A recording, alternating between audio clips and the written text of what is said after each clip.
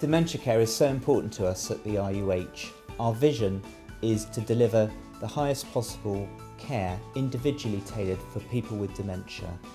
I think this ward is an example of what all wards uh, should look like because we know that 25% of all patients in hospital beds are occupied by people with dementia and so the, the homely style uh, of working with removal of the central nursing station and putting nursing pods in each bay for direct observation is going to make a real difference to direct clinical care.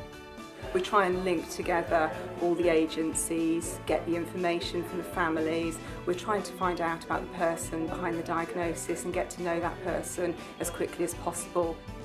The benefits of music for people with dementia um, are widely seen across the hospital when we're playing on the wards.